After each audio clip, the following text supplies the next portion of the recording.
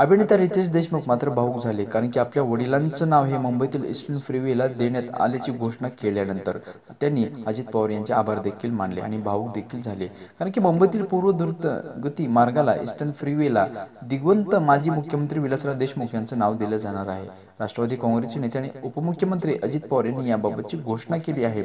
या संदर्भात विलासराव देशमुख यांचे पुत्र रितेश देशमुख यांनी ट्विट करत अजित पवार यांचे मात्र आभार मानले.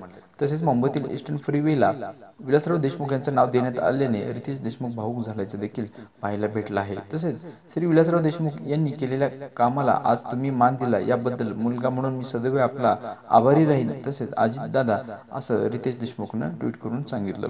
दरम्यान विलासराव देशमुख यांनी मुख्यमंत्री म्हणून मुंबईच्या विकासाला दिलेली दिशा तसेच ईस्टर्न फ्रीवेला उभार उभारण्यातील त्यांचे योगदान लक्षात घेऊन ईस्टर्न फ्रीवेला त्यांचे नाव देण्यात यावे अशी सूचना उपमुख्यमंत्री अजित पवार यांनी नगर विकास विभागाला दिली आहे.